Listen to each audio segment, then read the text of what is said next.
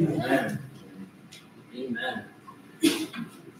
Last Lord's Day, we were together. Uh, you may remember I regaled you with a few pictures of our Western adventures, a few stories of our trip out west. You may remember that our family, five of the six of us, traveled over 6,000 miles there and back to Canada's western shores.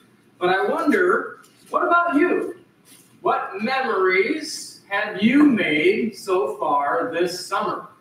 We who live in a place like Chicago, I think, appreciate the summer months and the warm fall months, maybe more than other people do, because we know how long and cold and bleak and icy and slippery can be the winters. I wonder what memories have you made? Perhaps it was a shorter trip. A lot of us went on a little trip to Michigan on Monday, and that was a nice uh, day trip that we took. Maybe a block party or a local festival that you've gone to or are planning to attend. Perhaps a walk in the woods or a nap on a blanket upon green grass with warm sun shining down upon you and the breeze blowing across you. Maybe it was something simple like that. Perhaps a, a warm evening with the simple pleasure of warm breeze, soft moonlight, and twinkling stars above. As we learned last Lord's Day, God is honored when we enjoy his creation. You don't have to be in church. You don't have to be at a Bible study. You don't have to be serving at a local soup kitchen or food pantry to honor and worship the Lord. When we enjoy the life that Father God has given us, when we exercise the bodies that Father God has designed for us, when we appreciate the world that our good, good Father has made for us and created for us, we bring a smile to God's face. You see, when we enjoy God's good creation and give Him the glory, this too is worship. Now, you can go out in nature and have a grand old time and be like, thank my lucky stars, I had a great day today. But if you go out in nature and you see God's handiwork everywhere and you enjoy it, you give Him the glory, this too is worship. As a good father is pleased when his children enjoy the fruits of his labor, so our good, good Father in heaven is honored when we appreciate his heavenly handiwork and his earthly splendor. And as we learned in review, God created all things for his glory.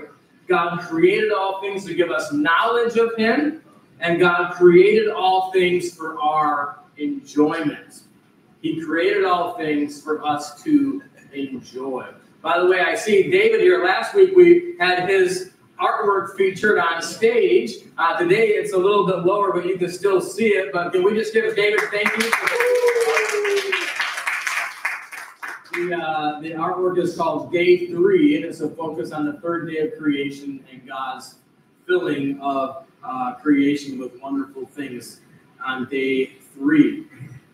Let's build on the biblical understanding that we gained last Sunday as we take a closer look today at Psalm 19. So I want to invite you to open your Bibles to Psalm 19. We're going to walk through this uh, scripture together. We'll turn to a few other scriptures as well to give us more insight. Psalm 19. And we can summarize Psalm 19 as the skies, the scriptures, and the Savior.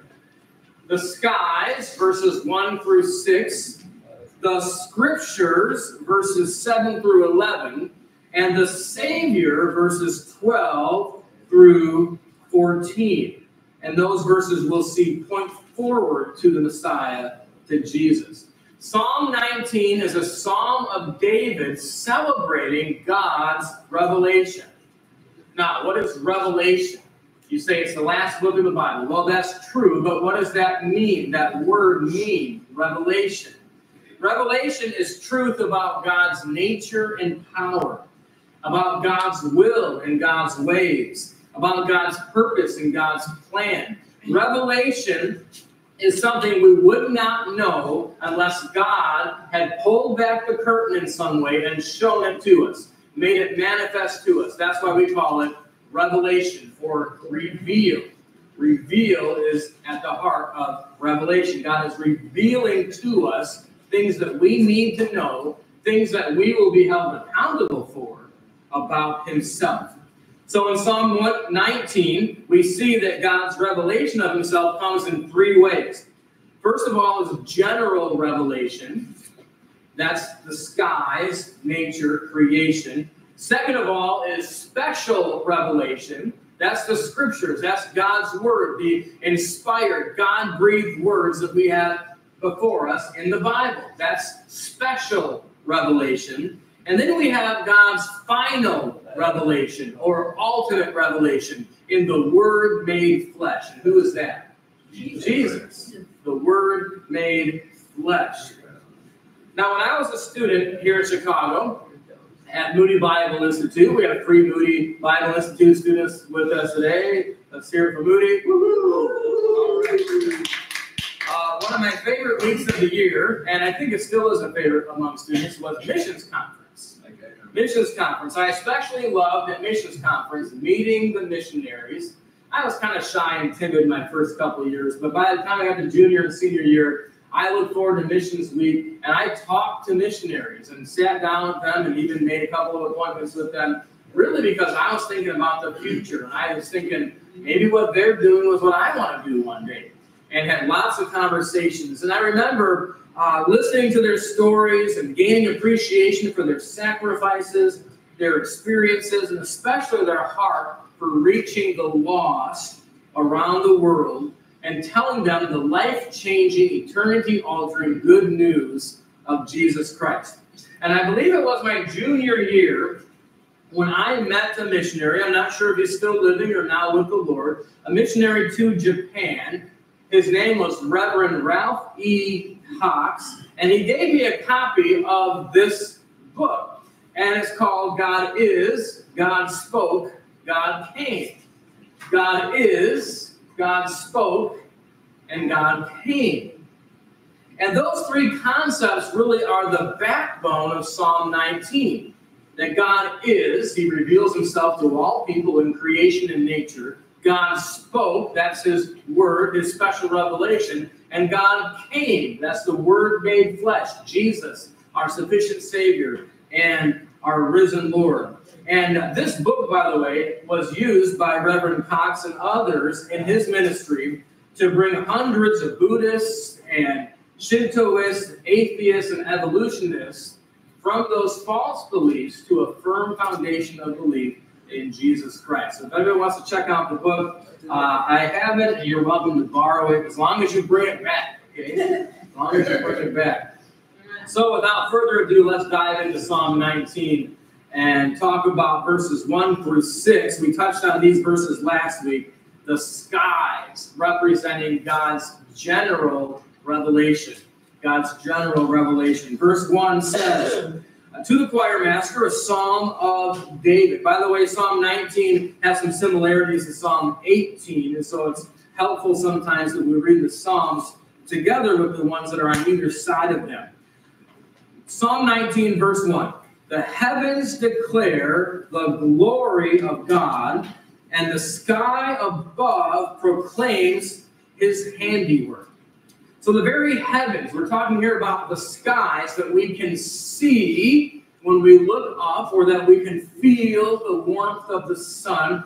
The heavens declare, they speak forth the very glory and handiwork of God. The sky above proclaims his handiwork. Somebody said, Well, how is it that I experience creation as an aspect of God's design? But others do not.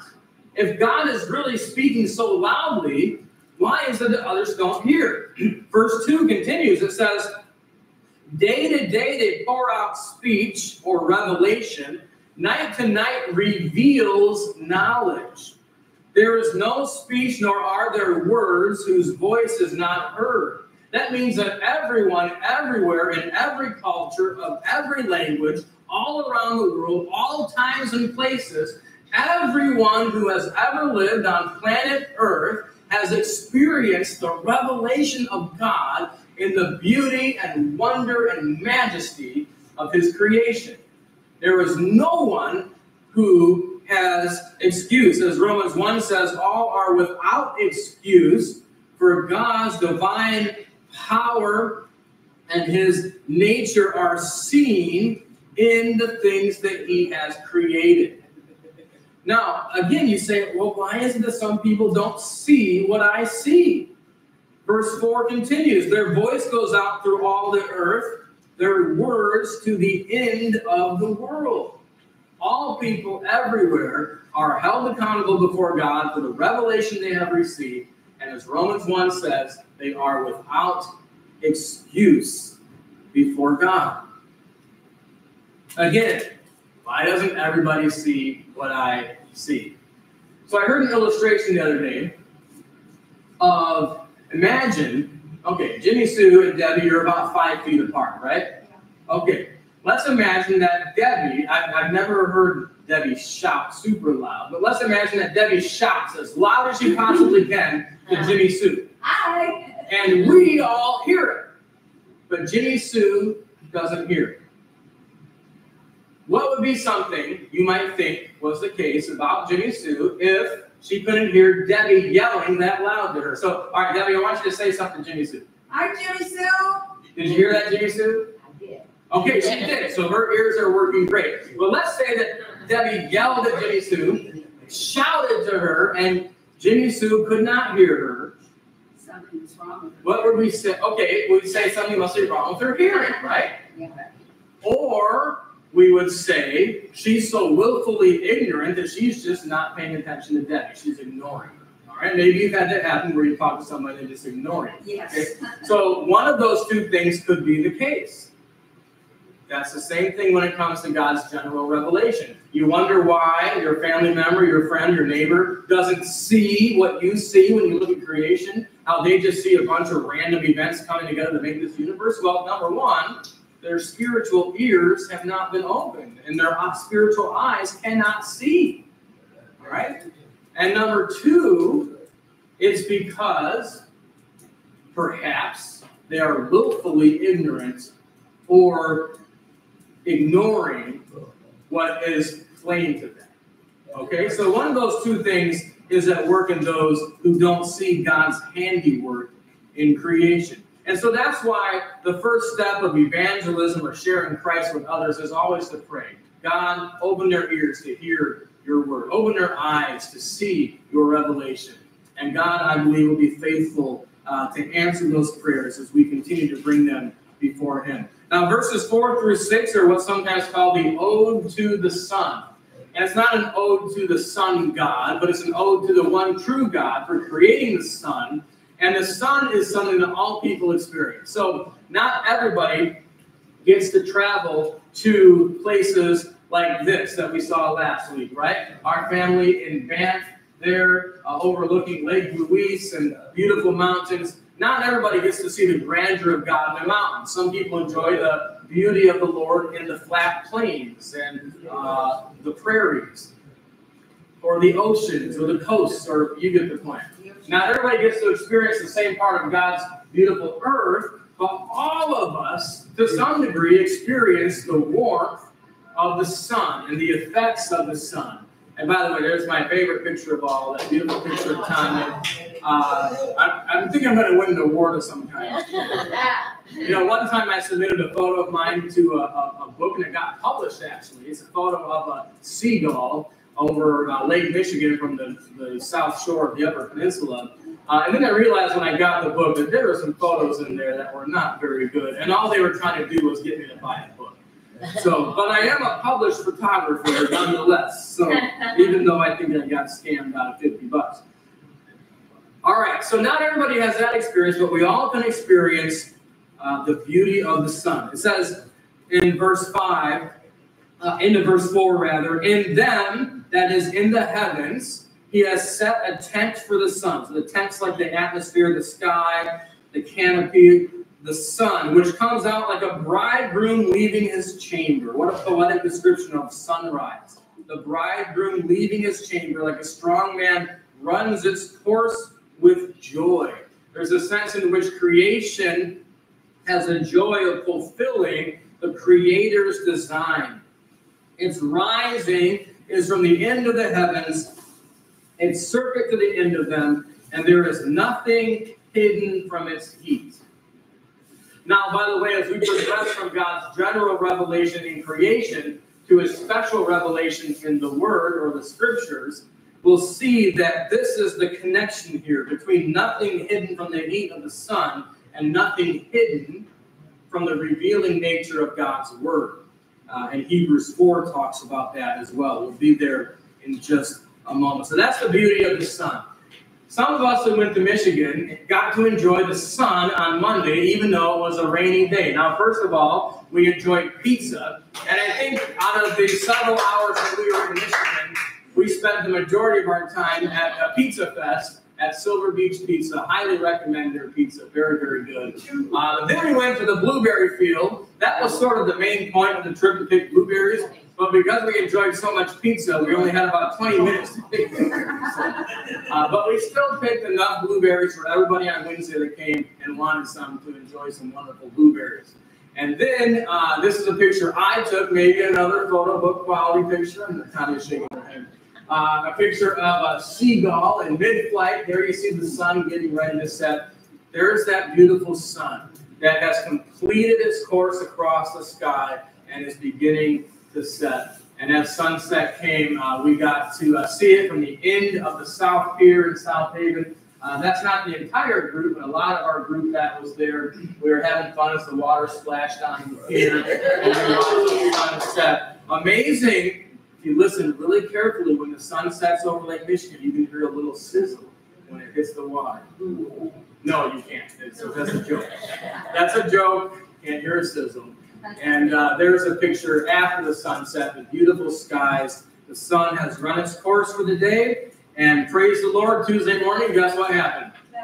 The sun rose. The sun rose. And the sun will continue to rise and set until the day that God says enough is enough and uh, the current heavens and earth pass away, God's judgment comes, and a new heavens and a new earth are brought about by the Lord according to his will. So that's the skies, God's general revelation. Now we move on to the second part of Psalm 19, the scriptures, God's special revelation. God's special revelation. Verse 7 The law of the Lord is perfect, reviving the soul. What I want you to see in these verses is to notice how they describe God's special revelation in His Word with an attribute and its effects. So let's take a look at the attributes. You'll see them on the screen. Uh, these are the attributes. It says, The law of the Lord is perfect, the testimony of the Lord is sure, the precepts of the Lord are right, the commandment of the Lord is pure, the fear of the Lord is clean.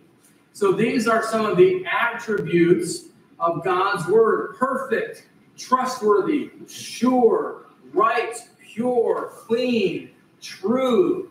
This is how we should think of the law of the Lord and of God's word in general. 2 Timothy 3:16 is one that maybe you have memorized in the past, uh, but it says all scripture is breathed out by God, inspired by God, and profitable for teaching, that is making known that which was not previously known, for reproof, that is rebuking, confronting sin, for correction, that is correcting error, and for training in righteousness, and obedience, in the way God wants us to live, that the man of God may be complete, equipped for every good work.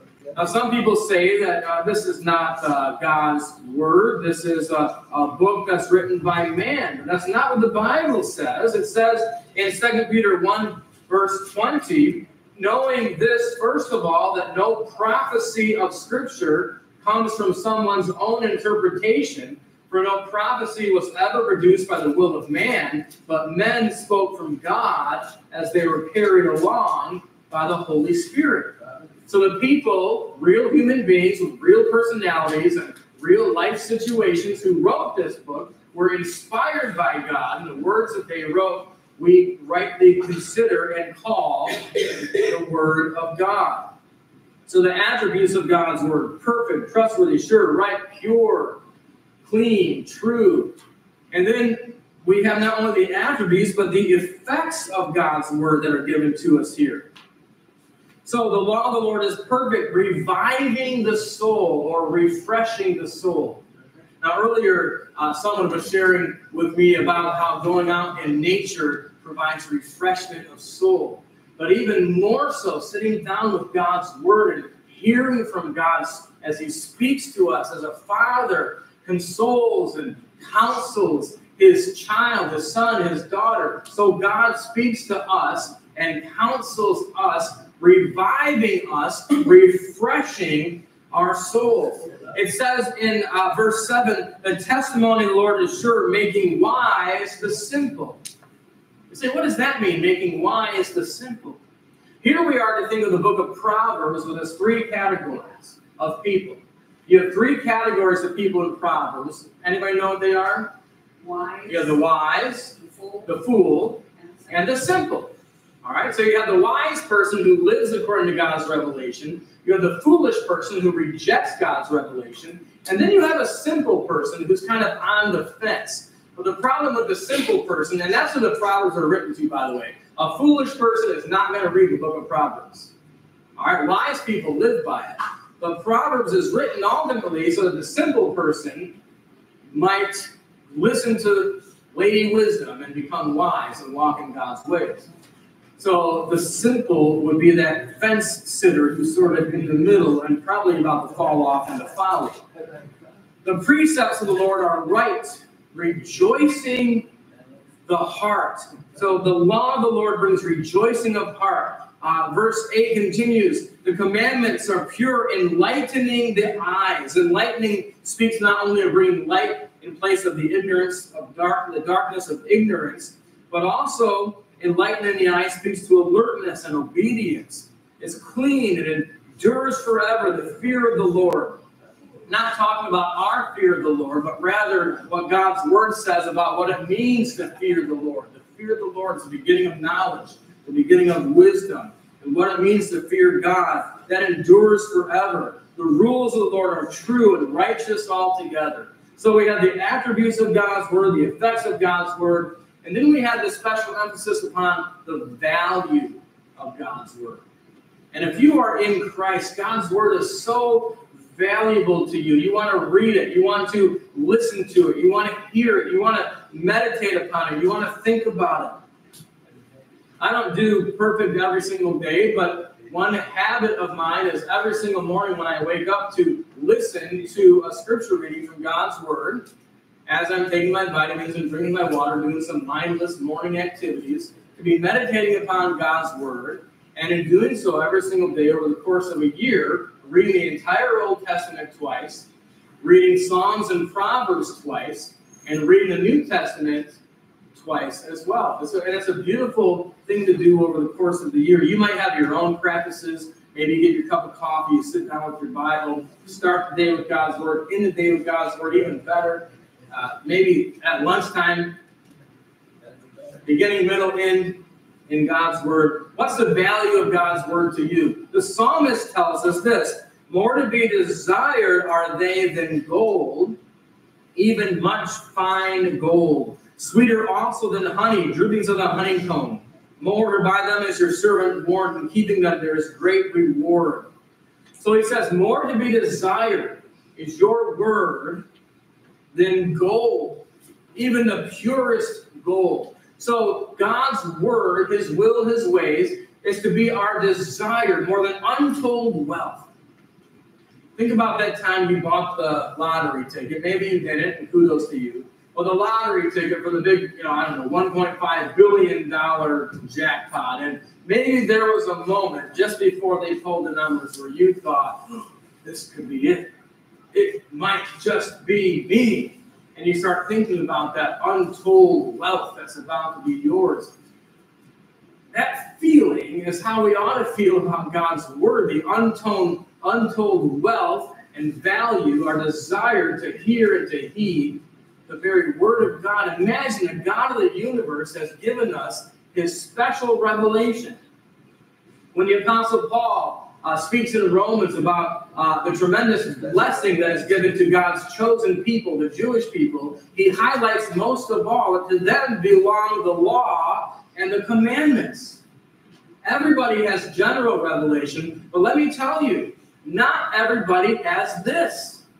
This is the most valuable possession that you have the Word of God, God's special revelation to you. Now, I'm not talking about the spiritual blessings, of course, that we have by grace through faith because of believing in the scriptures and the truths that they proclaim, but this is the most valuable thing you own. And yet, for some of us, we might not have cracked it open for days.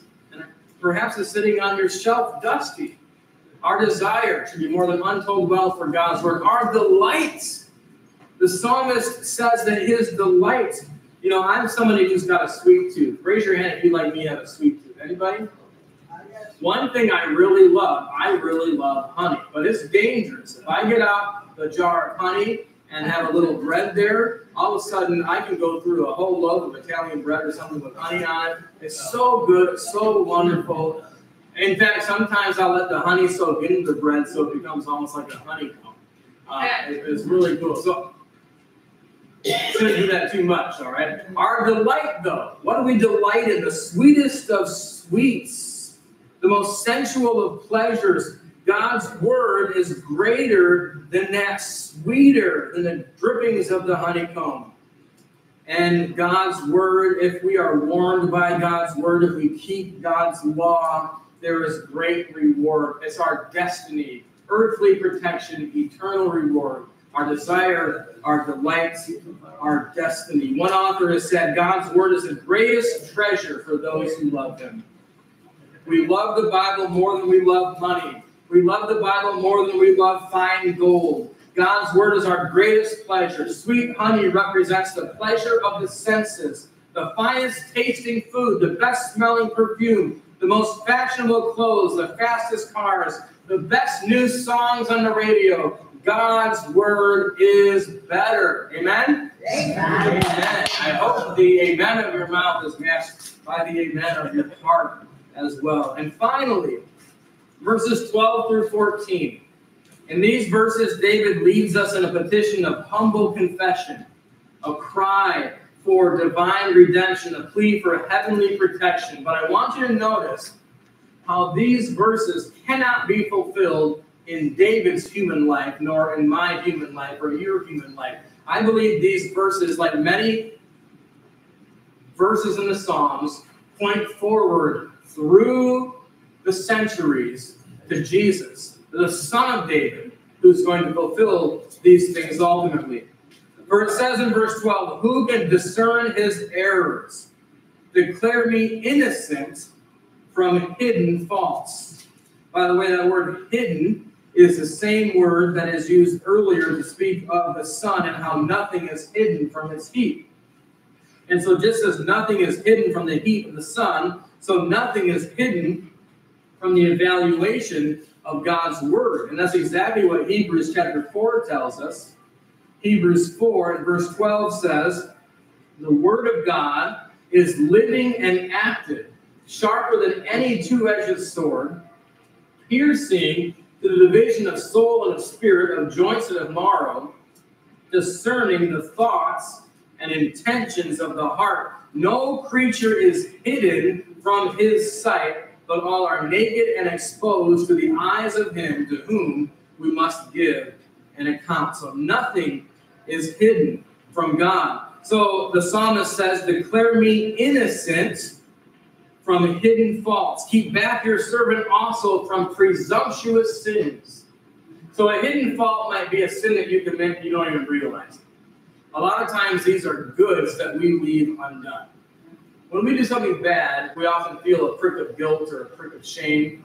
Uh, the Holy Spirit convicting us of that sin. But there are times where God wants us to do something good and we don't do it. That too is sin. Those two are hidden faults. Keep back your servant from presumptuous sins. This would be the transgressions where you say, okay, God, I know you drew a line in the sand, and I know you told me not to cross that line in the sand. You gave me a very specific command, but I'm going to cross it anyway. I'm going to do it anyway. I don't care what you say. That's the presumptuous sin. Let them not have dominion over me. By the way, that's why we pray, lead us not into temptation, but deliver us from the evil.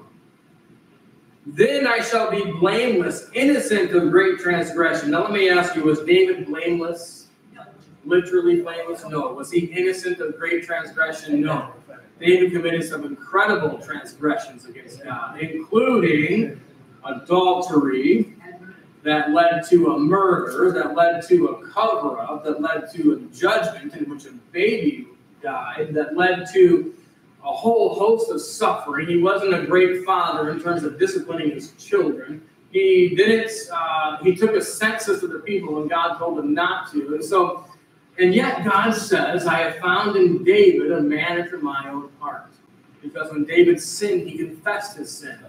When he sinned, he humbly turned from his sin. He sought God. We see that here in Psalm 19. The psalm concludes, verse 14 Let the words of my mouth and the meditation of my heart be acceptable in your sight, O Lord, my rock and my redeemer. That word rock reminds us of Psalm 18, uh, which concludes of, of talking about to God, our Savior, the, the rock Blessed be my rock, the God of my salvation. It says in Psalm 1850, great salvation he brings to the king, showing steadfast love to his anointed, to David and to his offspring forever. I believe these verses in Psalm 19 are to be prayed by us, even as David prayed them, but ultimately they point forward to Jesus, who alone will fulfill them, who alone is innocent of any hidden fault who alone is kept from presumptuous sin, and they do not have dominion over him, who alone is blameless and innocent of transgression. Only Jesus, every word of his mouth and every meditation of his heart was acceptable in the sight of Father God. And so Jesus is the ultimate fulfillment of these words. He is the Word made flesh. Jesus is the final revelation of God, the ultimate revelation of God in those verses that we read from Hebrews chapter 1. So important uh, that I want to read them again. Hebrews chapter 1, verse 1 says, Long ago, at many times, in many ways, God spoke to our fathers by the prophets. So he's talking there about special revelation in this book, in the Bible.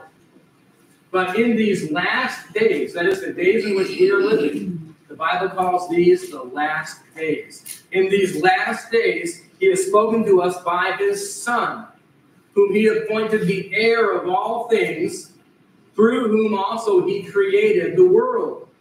Remember, in the beginning was the Word, and the Word was God, the Word was with God. He is the radiance of the glory of God and the exact imprint of his nature, and he upholds the universe by the word of his power.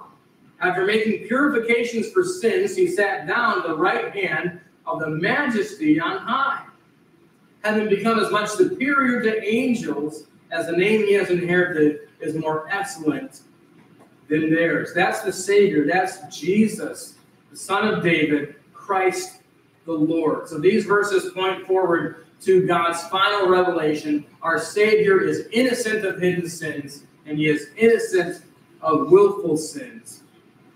Our secret sins, says one author, are no secret to God. Did you know that? The sins that you're so skillful at hiding from others are no secret to God. Only Jesus and Jesus alone obeyed God faithfully in the depths of his heart. Our Savior is innocent of willful sins, and because of that, he is sufficient to pay the price that was ours to pay and to save us from our sins. And so the scripture says in 1 Peter chapter 2, he committed no sin, neither was deceit found in his mouth. When he was reviled, Jesus did not revile in return.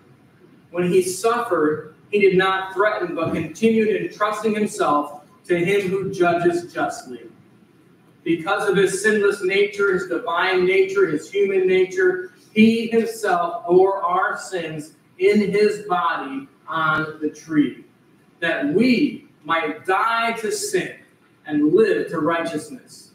By his wounds you have been healed. For you were straying like sheep, but now you have returned to the shepherd and the overseer of your soul. In just a moment, we're going to turn to a time of communion where we remember Jesus, his body broken for us, his blood shed for the forgiveness of our sins. And as we prepare our hearts and minds to think about that, I want to draw you to the picture on the screen. It's a picture of, of three crosses. You'll remember that Jesus was crucified on that day outside Jerusalem. He bore in his body, on his body, our sins. He paid the price that was ours to pay. But you'll remember that there were others crucified with him. How many? Two others were crucified alongside of Jesus. So there were three crosses on that day. And the scripture tells us in Luke chapter 23 that two others who were criminals were led away, they put to death with Jesus. And when they came to the place that is called the skull, there they crucified him the criminals, one on his right, one on his left. And Jesus said, Father, forgive them, for they know not what they do. They cast lots for his garment. People stood by. They mocked him. People scoffed him. He saved others. Let him save himself if he's really the Christ of God, the chosen one. The soldiers mocked him. They offered him sour wine. He said, If you are really the king of the Jews, save yourself.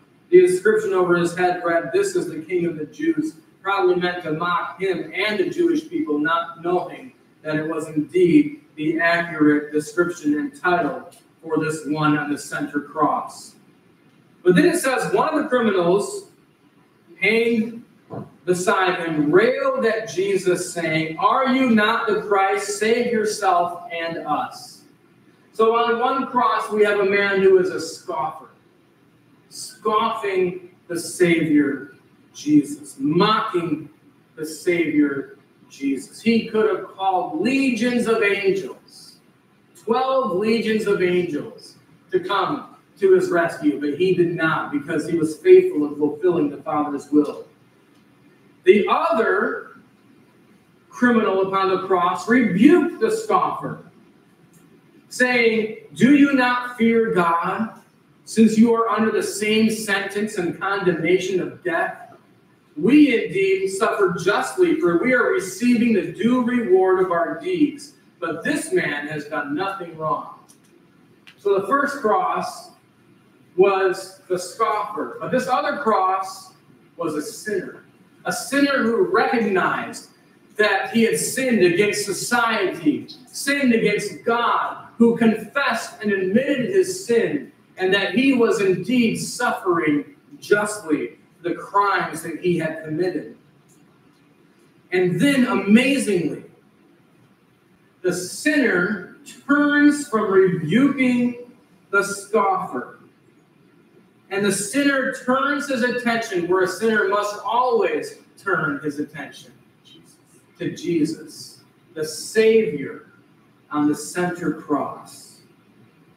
He said to the Savior, Jesus, Remember me when you come into your kingdom.